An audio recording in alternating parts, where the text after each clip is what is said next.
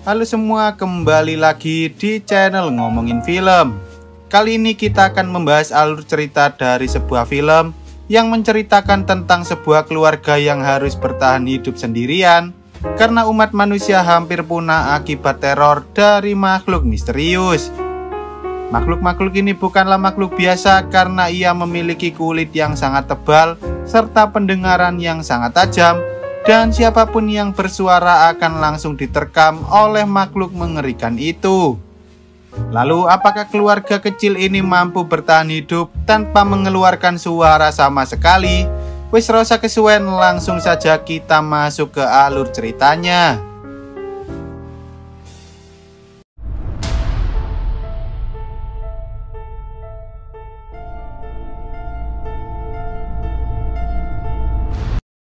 Di awal film, kita akan diperlihatkan dengan kondisi kota yang sudah sangat sepi, bahkan hampir tak ada seorang pun yang berhasil bertahan hidup sejak terjadinya bencana mengerikan yang terjadi pada tiga bulan yang lalu. Meski peradaban umat manusia saat ini hampir punah, ternyata salah satu keluarga mampu menyelamatkan diri dengan cara berkomunikasi menggunakan bahasa isyarat agar mereka tak memancing makhluk yang sering mereka sebut sebagai dead angel atau malaikat maut yang mampu mendengarkan suara hingga suara terkecil sekalipun. Demi bisa bertahan hidup, mereka mencoba mencari beberapa persediaan makanan serta obat-obatan di salah satu toko yang ada di kota. Tetapi tanpa disadari ketika mereka pergi dari sana, si kecil ini justru mengambil salah satu mainan pesawat-pesawatan tanpa mengatakan hal itu pada yang lain. Mereka lalu kembali ke rumah dengan cara berjalan kaki di atas pasir yang telah mereka tabur, agar mereka tak menimbulkan suara sama sekali.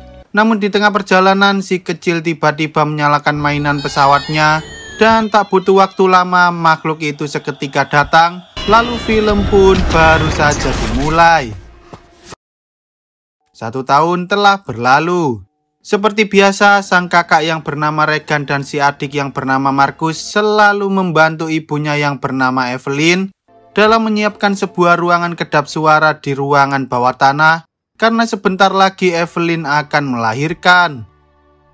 Sementara itu, sang ayah yang bernama Lee mencoba melakukan analisa tentang apa saja kelemahan dan kekuatan yang dimiliki oleh makhluk mengerikan tersebut sambil mencari tahu apakah di luar sana masih ada orang lain yang juga berhasil bertahan hidup seperti mereka menggunakan frekuensi sinyal radio.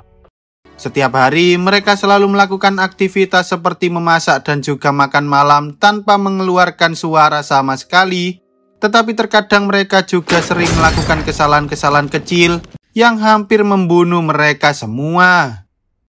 Hidup di tengah ketakutan membuat mereka terkadang mengalami stres, sehingga mereka berusaha saling menghibur satu sama lain, sambil berharap agar mereka bisa melewati hari-hari yang sangat mengerikan ini. Keesokan harinya, saat semua orang sedang sibuk, Regan diam-diam berencana masuk ke ruangan ayahnya. Namun Lee justru melarang Regan masuk karena di dalam sana terdapat barang-barang penting yang dapat menimbulkan suara. Lee kemudian berusaha menjelaskan hal itu pada Regan, bahkan ia juga ingin memberikan sebuah alat pendengaran yang ia perbaiki sendiri, karena selama ini Regan memiliki masalah pendengaran alias seorang tunarungu, tetapi Regan justru marah dan menganggap bahwa alat itu tak akan berfungsi seperti alat-alat yang sebelumnya. Singkat cerita, ketika Evelyn sedang mengajari Markus cara berhitung, Lee mengatakan bahwa ia akan membawa Markus pergi mencari makanan karena sebagai seorang laki-laki, Markus harus bisa menjaga dirinya sendiri serta menjaga anggota keluarganya yang lain. Kemudian saat mereka hendak pergi, Regan mengatakan bahwa ia ingin ikut bersama mereka, tetapi Lee malah menyuruh Regan untuk tinggal dan menjaga ibunya, yang mana hal itu justru membuat Regan merasa sangat kesal pada ayahnya itu. Di sisi lain, ketika Lee dan Markus tiba di sungai, Lee mencoba mengajari Markus bagaimana caranya menangkap ikan. Namun entah mengapa Markus justru merasa ketakutan, sehingga Lee pun berusaha menenangkan anaknya itu.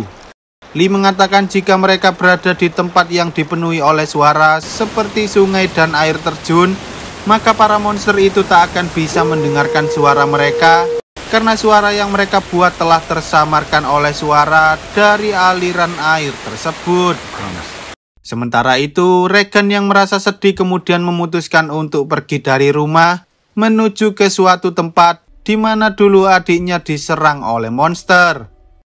Tampaknya selama ini Regan, Lee, dan juga Evelyn masih belum bisa melupakan kejadian yang menimpa si kecil.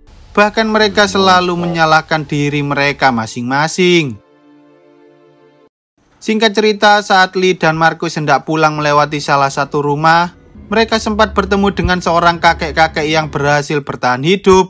Namun karena kakek itu menyadari bahwa istrinya telah meninggal akibat diserang oleh monster, ia pun tiba-tiba berteriak sehingga Lee bergegas membawa Markus bersembunyi agar mereka tak diserang oleh monster tersebut. Di sisi lain, ketika Evelyn sedang berada di rumah sendirian, Tiba-tiba saja ia mulai menunjukkan tanda-tanda bahwa dirinya akan melahirkan. Namun saat hendak memberikan tanda pada Lee dan yang lain, ia justru tak sengaja terkena paku yang sebelumnya mencuat karena terkena karung.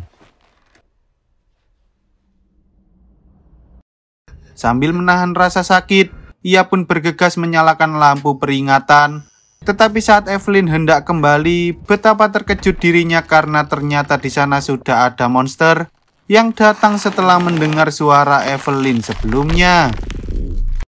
Evelyn lalu menggunakan alarm untuk memancing monster tersebut hingga ia berhasil bersembunyi di dalam bak mandi.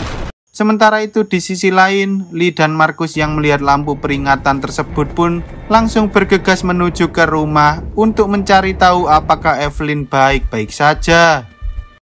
Kemudian ketika mereka menyadari bahwa di dalam sana sudah ada monster, Lee pun menyuruh Markus untuk menyalakan kembang api guna memancing para monster itu. Sementara ia sendiri menyiapkan sebuah shotgun untuk berjaga-jaga jika saja ia harus bertarung melawan para monster tersebut. Saat Lee mencoba mencari keberadaan Evelyn di dalam rumah, ia mengira bahwa Evelyn sudah mati karena di dalam bak mandi terdapat banyak sekali darah tetapi untungnya Evelyn dan bayinya berhasil selamat dengan cara bersembunyi di dalam ruangan shower. Tanpa berlama-lama, Lee segera membawa mereka berdua menuju ke ruangan kedap suara yang ada di bawah tanah. Karena jika monster itu mendengar suara tangisan bayi mereka, maka tak ada harapan untuk bisa selamat dari serangan para monster mengerikan tersebut. Di sisi lain, Markus yang hendak kembali ke rumah merasa bahwa ada monster di dekat sana, sehingga ia pun berlari sekencang-kencangnya menuju ke arah ladang jagung. Kemudian saat Regan baru saja kembali, tanpa disadari tiba-tiba salah satu monster sudah ada tepat di belakangnya. Namun tak mengapa tiba-tiba monster itu kabur begitu saja setelah ia mendengar suara dengungan yang berasal dari alat pendengar milik Regan. Lalu setelah berhasil menemukan keberadaan Markus, Regan dan Markus pergi menuju ke atas lumbung sambil menyalakan api agar sang ayah tahu bahwa mereka saat ini sedang bersembunyi di atas sana. Sementara itu, ketika Evelyn terbangun dari tidurnya, Lee berusaha menenangkan Evelyn sambil mengatakan bahwa mereka saat ini sedang berada di dalam ruangan bawah tanah. Tetapi ketika ia menyadari bahwa Markus dan Regan masih di luar sana, ia pun meminta Lee untuk membawa mereka kembali dengan selamat karena ia tak mau kejadian yang menimpa si kecil terulang kembali. Evelyn mengatakan jika saja dulu ia menggandeng si kecil dan tak membiarkannya berjalan sendirian di belakang, pasti hal mengerikan itu tak akan pernah terjadi. Mendengar perkataan Evelyn, Lee kemudian berjanji bahwa ia pasti akan membawa Markus dan Regan kembali hidup-hidup. Sehingga tanpa berlama-lama, ia pun segera pergi mencari keberadaan mereka berdua melalui CCTV yang ada di dalam ruangan miliknya. Namun sayangnya, pipa air yang sebelumnya sempat dirusak oleh salah satu monster membuat airnya mulai membanjiri seluruh ruangan yang ada di bawah tanah. Dan saat Evelyn sadar, ternyata di sana juga sudah ada salah satu monster. Sehingga dengan hati-hati, Evelyn pun berusaha mengambil bayinya dari dalam kotak. sambil bersembunyi di antara aliran air. Di sisi lain, ketika Lee sedang mencari keberadaan Markus dan Regan di ladang jagung, tiba-tiba Markus yang sedang berdiri di atas lumbung tak sengaja terjatuh ke dalam sana, yang mana itu membuat para monster mulai menghampiri mereka. Melihat hal itu, Regan pun berusaha menyelamatkan Markus, tetapi ia malah tersedot ke dalam tumpukan jagung. Namun untungnya Markus berhasil menyelamatkan kakaknya sehingga mereka berdua kini terjebak di dalam lumbung tersebut. Tak lama setelah itu, tiba-tiba salah satu monster yang mendengar suara mereka juga ikut masuk ke dalam sana. Namun karena alat pendengar milik Regan kembali mengeluarkan suara dengungan yang sangat mengganggu, monster itu pun langsung kabur dari sana dengan cara menjebol dinding lumbung itu. Singkat cerita, Markus dan Regan akhirnya berhasil bertemu dengan ayahnya kembali. Tetapi karena para monster itu masih ada di sekitar sana, Lee pun menyuruh mereka berdua untuk bersembunyi di dalam mobil terlebih dahulu. Saat Lee baru saja mengambil sebuah senjata, tanpa disadari tiba-tiba monster yang ada di atasnya langsung menyerang Lee. Bahkan monster itu juga mencoba menyerang Markus dan Regan yang sedang bersembunyi di dalam mobil. Melihat hal itu, Lee yang sudah terluka parah sempat memberitahu Regan bahwa ia sangat mencintai keluarganya. Lalu Lee berteriak sekencang-kencangnya untuk memancing monster tersebut. Sementara Markus dan Regan akhirnya berhasil kabur dengan cara meluncur menggunakan mobil. Meski mereka sangat sedih atas kepergian Lee, mereka tak bisa berdiam diri di sana begitu saja sehingga Evelyn menyuruh Markus dan Regan untuk bersembunyi di dalam ruangan milik Lee sambil menjaga adik mereka. Di sana Regan yang selama ini mengira bahwa ayahnya sangat membencinya atas kepergian si kecil akhirnya mengetahui bahwa Lee tak pernah membencinya sama sekali. Bahkan Lee selalu berusaha membuat sebuah alat pendengar agar Regan bisa mendengarkan suara-suara yang ada di dunia ini. Tak lama kemudian, tanpa mereka sadari, tiba-tiba salah satu monster itu datang tepat di hadapan mereka.